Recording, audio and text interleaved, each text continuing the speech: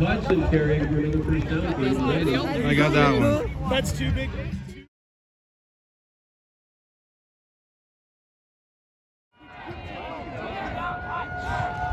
Like that? Now follow Taz. Go, go, go, go,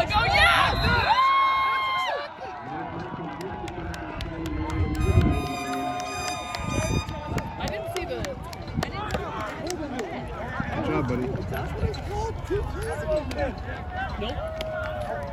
Can't listen to him. He's yelling. Alex, follow Taz. He's Go, got go, go, go, go, go.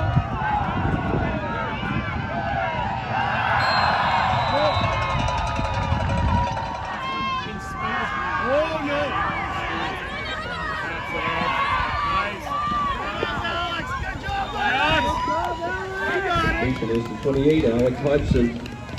The young. Go!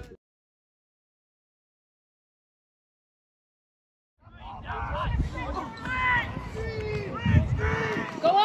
Go, go, go, go, go, go! Go! Run!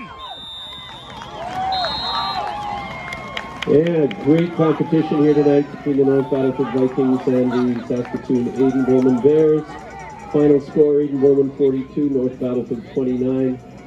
So, that means that Aden Bowman will advance to next Friday's, a week from tomorrow, next Friday's 5A City Championship contest against the Bishop Mahoney